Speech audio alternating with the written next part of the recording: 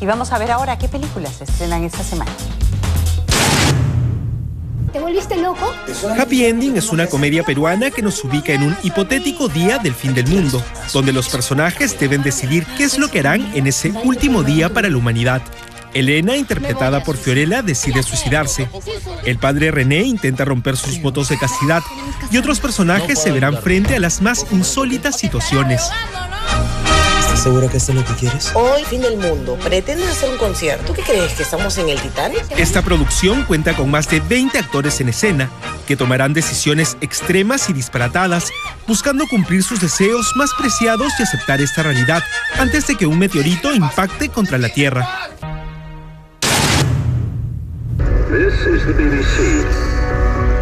Un pasado imborrable se basa en una historia de la vida real, la del militar británico Eric Lomax, quien durante la Segunda Guerra Mundial fue capturado y torturado por el ejército japonés.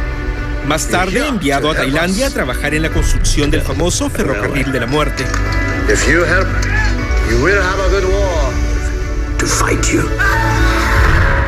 Años después y una vez libre, Eric sigue atormentándose cada noche por los recuerdos de su terrible pasado, hasta que un día conoce a Patty, protagonizada por Nicole Kidman, una mujer que lo conducirá hacia el hombre que lo torturó años atrás, para enfrentar la cólera y el deseo de venganza de Eric.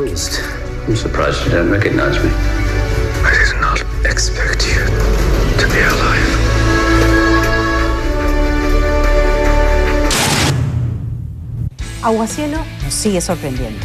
Nos presenta ahora la nueva Aguacielo Q10, la única con antioxidantes y coenzima Q10 que tiene múltiples beneficios.